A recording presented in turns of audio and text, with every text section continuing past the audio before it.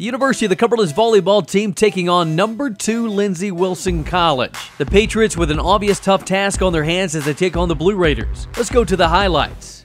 For Lindsey Wilson, Mackenzie Montano, she's quite a player. Here are the quick hands to get the Blue Raiders the point. The Patriots would battle. They get the ball to Jen Philpot, and she finishes. Patriots down 6 5.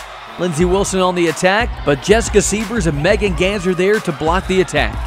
More from Ganser. Here, the senior from Wisconsin gets another block. Cumberland's down 2 16 14. A late surge in the first set would give the Blue Raiders a 25 15 victory.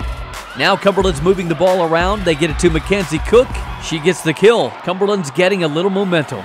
Patriots with a great rally. Routliffe with the save. Short over to Philpot. She gets the point. Patriots up three in the second set, 9 to 6.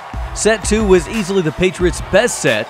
Short with the save, Routliffe sets up Koch, and the talented freshman gets a point for the Patriots. Now it's Jessica Severs getting into the action. She gets the kill to get the Patriots back to within two. Perhaps the player of the night for Lindsey Wilson, Mackenzie Montano. This time she goes behind her head for the point. Now the Blue Raiders get it to Madison Molitor. She finishes. Lindsey takes set two, 25 20. When you take on the number two team in the nation, you need a lot of breaks and a great effort. Cumberland's got that from Lynsey Short. Here she gets the quick touch for the point, but this night would belong to Lindsey Wilson. Lauren Streets finishing this one off, and Lindsey Wilson would go on to take this one 3 zip over Cumberland's.